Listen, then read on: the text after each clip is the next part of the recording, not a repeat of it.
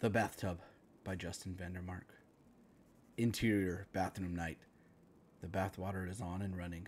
A faint voice can be heard, but the words are not understood. Charles is holding his cell phone. The cell phone shows 911 with a talk time of two minutes. 911 operator off screen. Hello? Are you still there, sir? Hello? Sir? Whatever you're planning, it's not worth it. Hello? The voice slowly mumbles out as we reveal Charles sitting in a bathtub with his head leaning against his chest. His eyes are closed. There's a knife on the soap bar holder. He's not moving. Then he shakes his head when he hears the operator. He looks down and brings the phone up to his ear. 911 operator off screen. Sir? Sir, we're sending help your way. Charles. That's not necessary. I'm fine. He hangs up the phone, puts it on the floor, and turns the water off. He splashes some water onto his face and then gets out of the bath. He dries himself off and wraps a towel around his waist. He picks up the phone and sets it on the sink. He checks his teeth in the mirror. He grabs some floss and starts flossing. Moments later, he starts brushing his teeth. His phone lights up, revealing a picture of him and his girlfriend. A text comes in Sarah, please don't do anything stupid because we broke up. It's not worth it. Then more text messages start popping up on his phone. Matt, hey bro, you good? Give me a call, man. Boss, don't make any rash decisions. It was only a job. There are more out there. Mom, honey, please give me a call.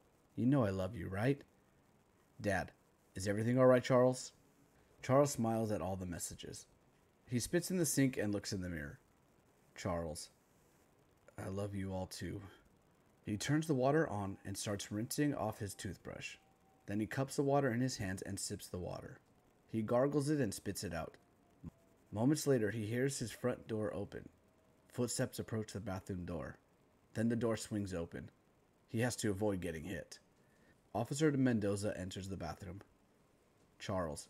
Hey, officer. I told the lady I didn't need you to come. Officer Mendoza just stares at the bathtub. Charles waves in front of his face, but he doesn't react. There's a shocked look on Officer Mendoza's face. Charles. Officer? What's wrong?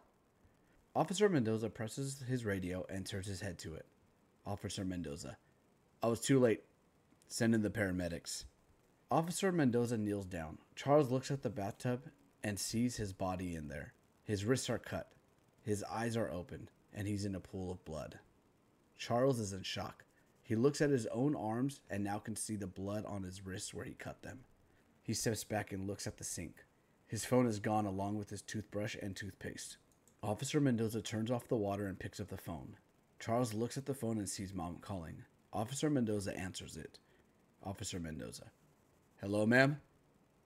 I'm sorry for your loss. Crying can be heard coming from the phone.